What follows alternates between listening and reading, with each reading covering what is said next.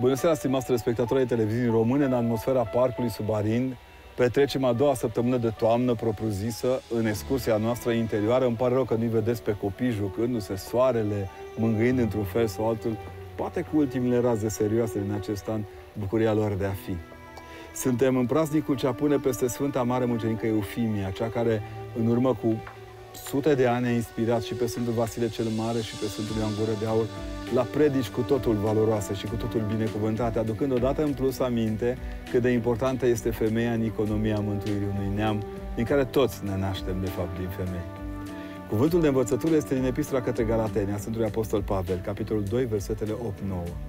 Ceea ce a lucrat pentru Petru în apostolia tăierii împrejur, a lucrat și pe mine la neamuri și cunoscând harul ce mi-a fost dat mie, Iacov și Chefa și Ioan, cei socotiți a fi stâlpi, mi-au dat mie și lui Barnaba dreapta spre unire cu ei, pentru ca noi să binevestim la neamuri, iar ei la cei tăiați împrejur.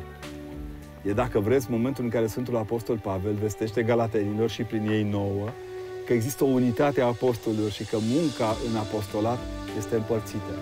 Unii au darul acesta a vorbirii către neamuri, alții au darul vorbirii către cei tăiați împrejur, care nu erau ușor de înfrânți în cerbicie, fiecare dintre ei sunt trimiși către o parte ce li se cuvine prin Harul lui Dumnezeu în propovăduire și har.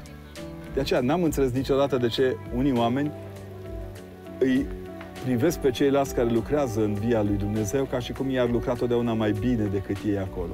E dificil, pentru că fiecare dintre noi Dumnezeu ne-a dat așa, câte o cărăruie în via sa, pentru a putea să ne desăvârșim lucrarea și să ne împlinim misiunea pe care o avem de îndeplinit.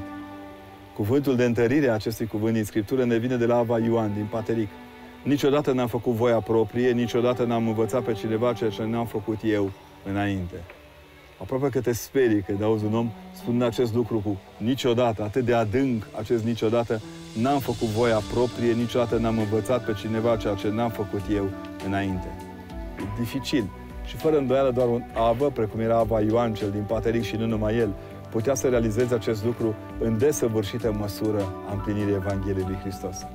Noi ceilalți încercam măcar să învățăm pe ceilalți dacă nu reușim să ne schimbăm propriile noastre vieți. Deși e clar că nu poți învăța pe nimeni cu sinceritate și cu onestitate dacă nu reușești mai întâi să te schimbi pe tine în onestitate și în sinceritate.